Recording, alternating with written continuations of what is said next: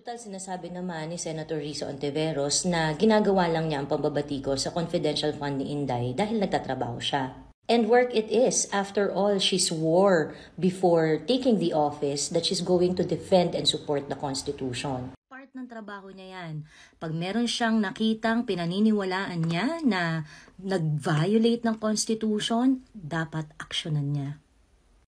Otherwise, tama si Inday Sara, nagdadrama lang siya.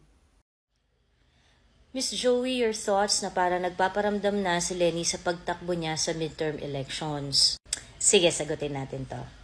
Well, sa totoo lang, hindi naman to surprising. At karapatan naman niya na tumakbo kung gusto niya. Kung papasok ako sa sapatos ni Lenny Robredo at meron akong 15 million base supporters, definitely I will have the confidence to run for the national position. And if it's a senatorial seat that I am vying for, perhaps my 15 million votes may take me there. So kung tama yung pinaniniwalaan nila, magandang desisyon na tumakbo para sa 2025 national elections. Pero kung ang tanong mo ay iboboto ko ba siya sa 2025, the answer is no. Sabi ni Helwa, Article 6, Section 25, Paragraph 5, I think nagre-refer siya sa Constitution, requires that any augmentation must come from savings.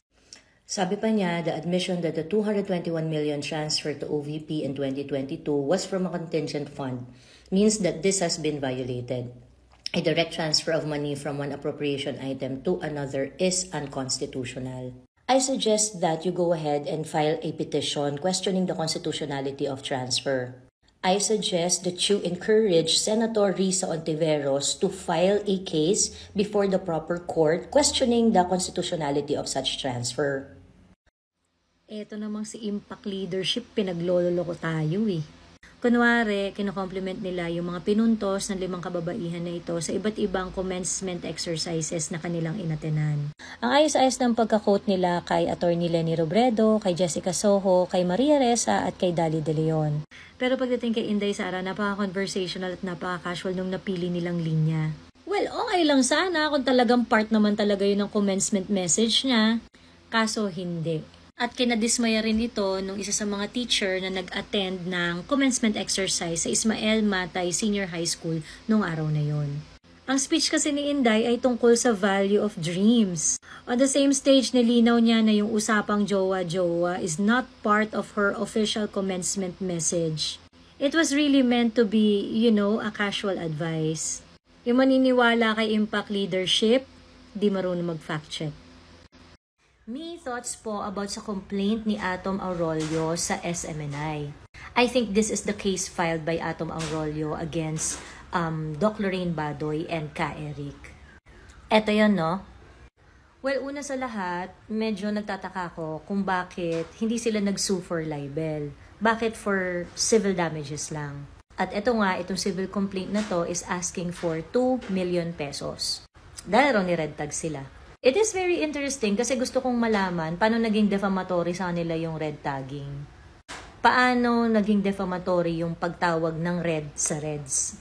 Kahit cute si Atom Aurelio, sorry Atom, but I will root for former USEC Lorraine Badoy and Ka Eric tayong Joint Circular number 2015-01 promulgated by COA, DBM, DILG, GCG, at Department of National Defense. It is a guideline on the entitlement, release, use, reporting, and audit of confidential and or intelligence funds. Ginawa itong joint circular na to precisely because the utilization of such fund is generally confidential and classified by nature, which requires not only strong internal controls in the release and utilization thereof, but also strict accounting and auditing rules to prevent mishandling or improper application of funds. Short, this joint circular requires reporting and audit of utilization and accomplishment of intelligence funds and confidential fund. In fact, sinasabi dito na ang mga national government agencies like yung Office of the Vice President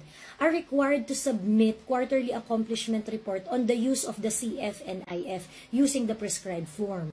Para sa mga opisinang kagaya ng Office of the Vice President, kailangan nilang mag-submit ng quarterly accomplishment report sa Presidente ng Pilipinas when it comes to intelligence fund, At para sa confidential fund naman, kailangan niya mag-submit ng same report sa Senate President, Speaker of the House, and sa Department Secretary. Mali din na sabihin na hindi ito sinisilip ng COA at sisilipin lamang ito kung mayroong mapapatunayan ng katiwalian. Dahil ang COA, through the Intelligence and Confidential Fund Auditing Unit, nagkakondak sila ng post-audit liquidation ng Intelligence Fund and Confidential Fund.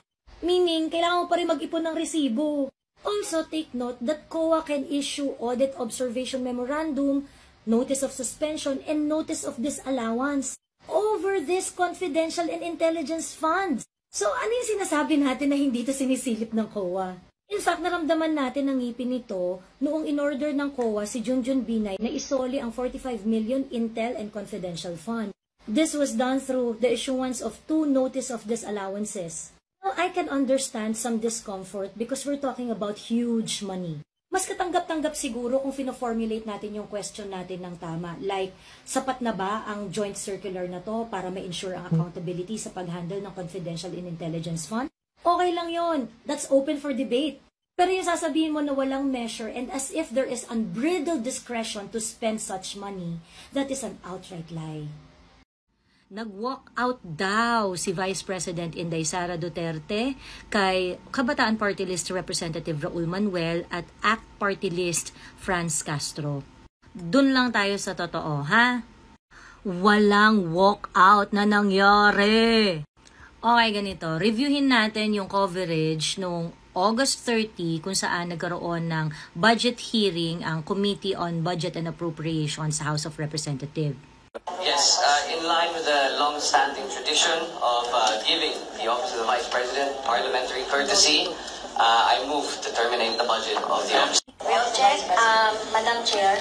We have a motion for the objection. The Chair now calls for the division of the House. Those who are in favor for the motion to terminate the discussion for the Office of the Vice President, please raise your hands. Secretary is requested to please count the votes.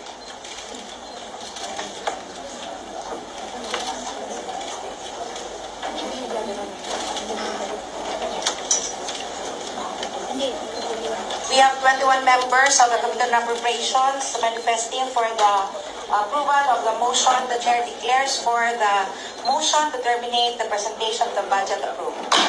So nakita nyo naman na nagkaroon ng botohan kung i-terminate na ang budget hearing ng Office of the Vice President.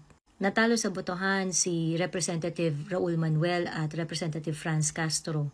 At dahil dyan, na-adjourn na ang committee hearing. So kung nakita nyo na pinukpok na yung gavel, ibig sabihin adjourned na. Ibig sabihin uwian na. So walang walk out kasi tapos na yung session.